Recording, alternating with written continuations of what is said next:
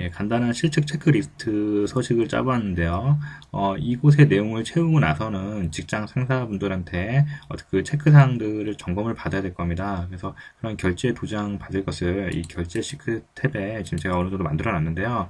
이렇게 만들어 놓은 이유는 이 문서를 만들어 놓고 보니까 이 쉘을 여기서 더 분할하고 이만한 크기로 내용을 삽입하려다 보면 이 기존에 작성해둔 서식을 다시 건드려야 되기 때문에 일부러 여기다 만들어 놨습니다.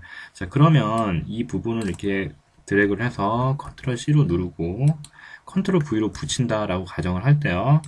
이곳에 보시면 이 그림으로 붙여넣기가 있습니다. 그래서 붙여넣기를 체크를 하시면 어, 방금 선택한 내용이 어, 그림으로 지금 들어온 것을 볼 수 있고요. 이것을 여기다가 어, 놓으면 되는데요. 어, 나중에 이 서식 자체를 변경해야 되는 경우가 있습니다. 그래서 뭐 여기는 빨간색, 노란색, 초록색으로 채워야 되는 경우인데 어, 그렇다면 여기서 다시 이 서식을 이렇게 입력을 했지만 그게 여기에 반영이 되지는 않습니다. 그래서 실행 취소를 몇 번 눌러서 여기 복사한 그런 상황을 지금 다시 뒤로 돌려놓고요. 다시 동일한 영역을 컨트롤 C로 복사를 하고 이 부분에 컨트롤 V로 붙이는데 일단 붙여놓고요. 목록에서 그림이 아니라 그 옆에 연결된 그림이라는 옵션을 체크를 한번 해보겠습니다. 네, 동일하게 그 이미지가 가져온 것 같은데요. 위치를 잡고 이 조절점을 조정을 해서 크기라든가 이런 부분을 좀 조절을 할 수가 있고요.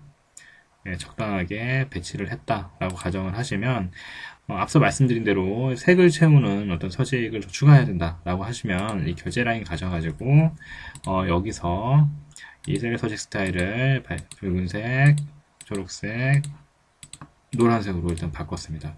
약시 송장에 가보시면요. 예, 제가 변경한 내용이 바로 반영이 되는 것을 볼 수 있습니다. 그리고 과장님이 아니라 예, 이렇게 그 내용을 변경하는 경우를 하더라도 그것이 그대로 반영이 되는 것을 볼 수가 있습니다.